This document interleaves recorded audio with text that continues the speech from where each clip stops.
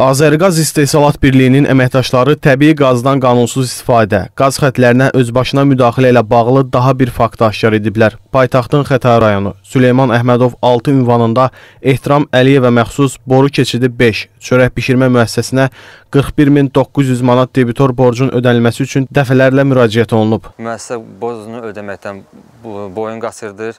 Dəfələrlə xəbərdarlıq etmişik. Dəfələrlə qaz təsisatını dayandırmışıq.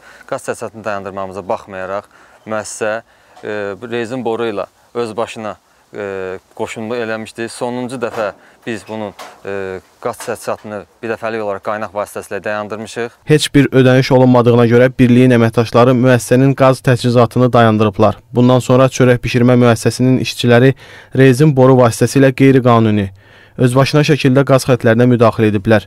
Birliyin əməkdaşları qanunsuz qoşulmadan əlavə qaz sayğacına müdaxilə halını da aşkarlayıblar. Qanunsuz birləşmənin bir neçə dəfə ləğv olunmasına baxmayaraq müəssisənin əməkdaşları yenidən özbaşına şəkildə eyni əməli təkrar ediblər.